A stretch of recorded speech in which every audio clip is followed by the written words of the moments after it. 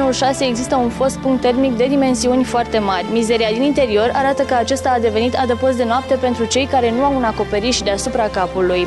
S-a furat tot ce se putea fura, tâmplărie, geamuri, fier beton, iar acum se fură și cărămida.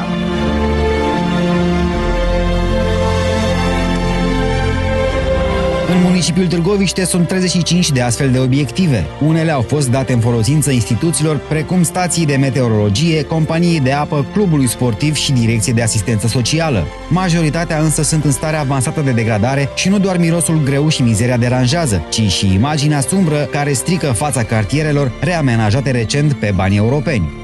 Degeaba s-au dărâmat garajele din cartiere, degeaba s-au făcut parcări moderne în cadrul planurilor integrate de dezvoltare urbană din municipiul Târgoviște, dacă fostele puncte termice rămân neobservate de autorități. Acestea sunt adevărate focare de infecție și un pericol permanent pentru cetățeni, în special pentru copii.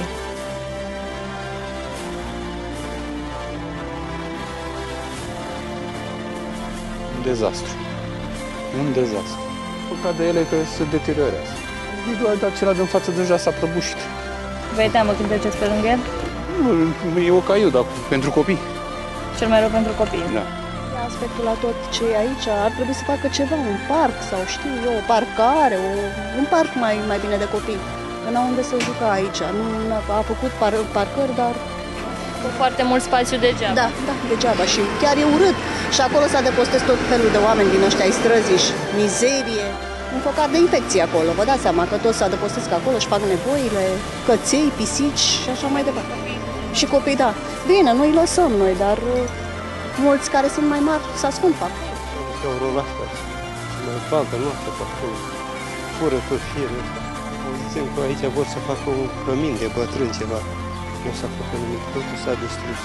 E păcat. E păcat pentru că tot noi mai în vârstă am muncit, am creat aceste locuri de unde putea să trimite căltură, aia, aia, de sus, tot, tot au distrus. Au rămas aceste epave, că nu poți să le zici altfel.